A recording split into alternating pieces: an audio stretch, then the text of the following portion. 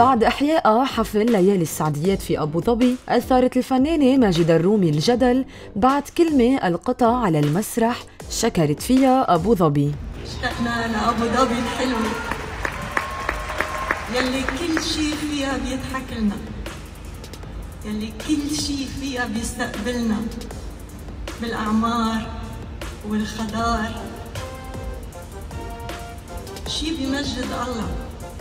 شي بيكبر القلب. وبحسب بعض الناس ذمت فيها وطنها لبنان.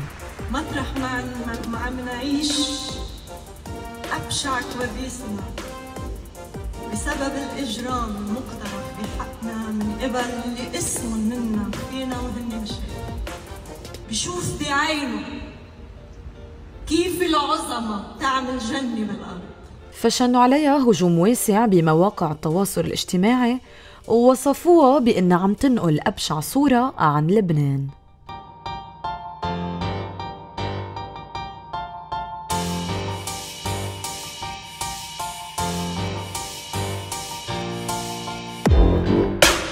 بينما دفع عنا البعض الآخر.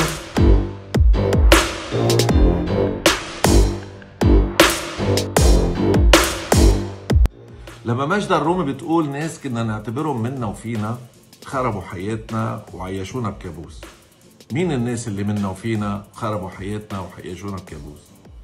هن الناس السياسيين يلي كلنا أنا وإنت وهو وهي نشتكي منهم يلي امناهم على دولتنا على حياتنا على أموالنا على بلادنا على وطننا. واعتبر المدافعين إنه تم اجتزاء المقطع من الفيديو الكامل. نحن ناطرينكم على الصيفية وكل اللي بحب ينزل معكم. بعده بلدنا حلو وبعدنا بنحبه وبعده جنة فهل برأيكم أخطأت ماجدة الرومي بحديثها عن أمور داخلية بالخارج أم أنها بالفعل حكت عن حرقة قلب؟